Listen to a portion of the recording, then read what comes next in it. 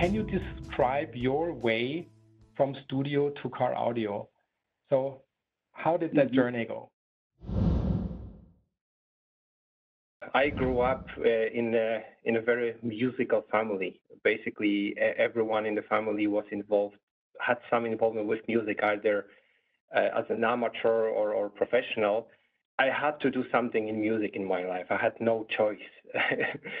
and uh, but at the same time i really enjoyed math and physics. So i said okay what can i do? How can i combine music math and physics? Well i figured out that the probably the right choice is audio engineering. Uh, this is something i already decided as a teenager.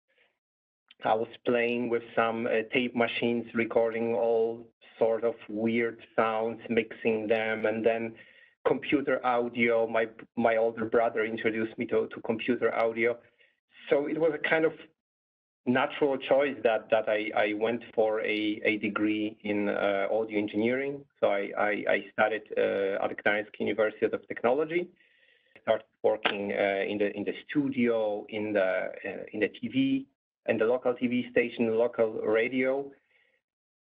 And this is basically where it where it started. Um, but after the technical uh, technical university, you know, you, I had very solid engineering foundation, um, but I was always looking at these tonmeisters, you know, working with the orchestra, you know, with the scores and everything, and basically doing the music production.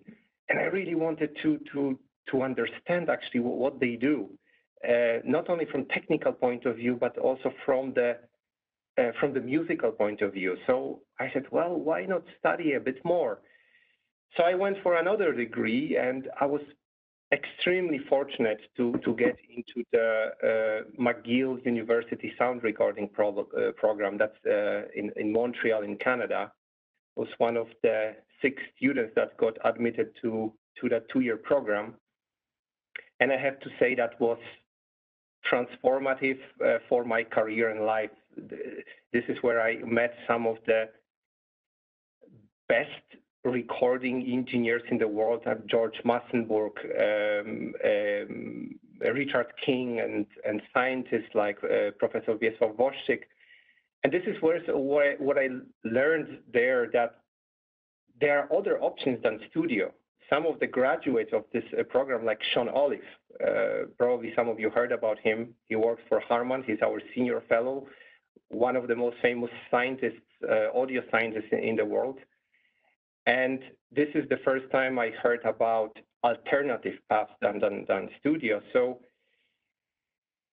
shortly after graduating from McGill, not immediately, but shortly after, I found this very interesting position at Bang & Olufsen in automotive, being the acoustic uh, systems engineer. I applied, I got in, uh, I think three years after I joined Bang & Olufsen, we've been acquired by Harman, and the rest is history.